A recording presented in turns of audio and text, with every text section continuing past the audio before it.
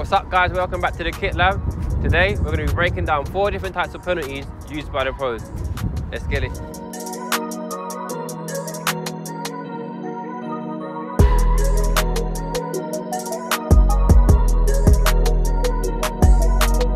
The first technique we're going to be breaking down is the Jorginho hop.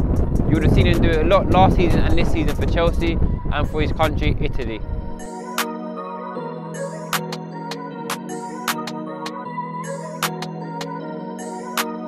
Jorginho starts just inside the penalty box before edging slightly to the left with a medium pace runner.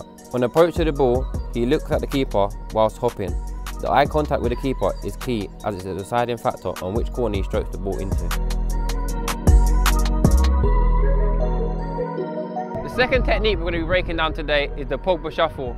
He's done this countless times over his career for both United and Juve.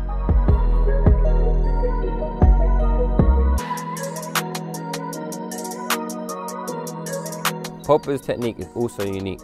He starts just inside of the penalty area. He nonchalantly jogs up to the ball, once three yards away from the ball, and tucks the ball away.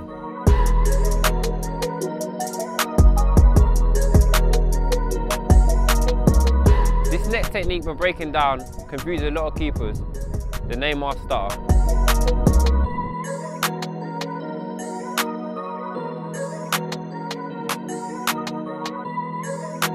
He starts just inside the penalty area, dead centre of the goal, before taking a few steps to his left. Eyes locked onto the keeper, he moves forward before quickly shuffling in a forward motion.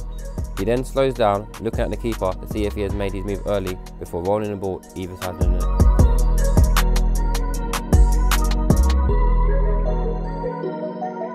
The last technique we're going to be breaking down is the Hazard stare off. Let's go.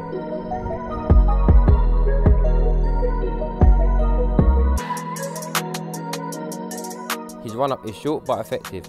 It begins with a stare off of the keeper. On his approach whilst looking at the keeper, he takes a small stutter, all with his eyes glued to the keeper. The stutter is key as it usually sends the keeper off balance, dictating which side he strikes the ball into.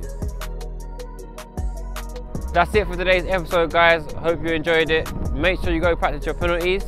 Let us know in the comments below what you want to see next. I'm Zak, peace.